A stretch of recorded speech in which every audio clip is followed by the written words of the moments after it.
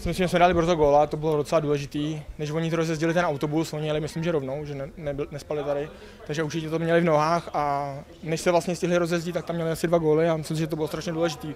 Pro nás jsme se uklidnili a oni museli celý zápas vlastně dotahovat. Když tam něco náhodou prolezlo, tak to Laši chytil, ale jinak jsme hráli ten hokej, co máme, fyzický, aktivní a vycházelo nám to. No.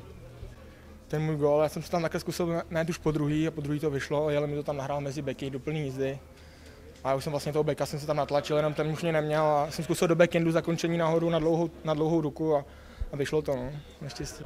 Každá, každá výhra je dobrá, my musíme hrát zápas od zápasu a hlavně, hlavně se musíme jako nějak postavit, že, jako, že jsme vyhráli a že už to bude samo. Jo. Musíme se s pokorou a ze spoda hrát ten poctivý hokej, co máme a, a prostě jít si zatím furt stejně. No.